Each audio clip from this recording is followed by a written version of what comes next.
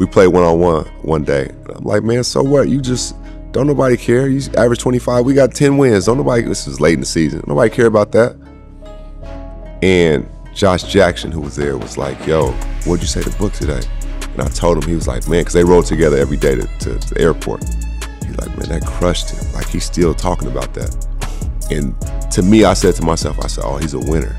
That bothered him. He's averaging 25 points. And what I said in the one on one is bothering him right now. Mm-hmm. I said, I know when he gets to that level in the playoffs, he's going to kill because he's built for that. It means something to him. He's just got to get the right group around him. Yeah. And when that happened, to see him take off in the playoffs, I texted him like, "I told you he was gonna kill." I was not surprised. I saw it. I knew it. That was mm-hmm. years in advance. Like I knew it was gonna happen. Yeah, I love his mentality, man. He's a You dog. don't, you don't get too many Dog. guys like like him no more. You know, he's like a Yeah. old school breed.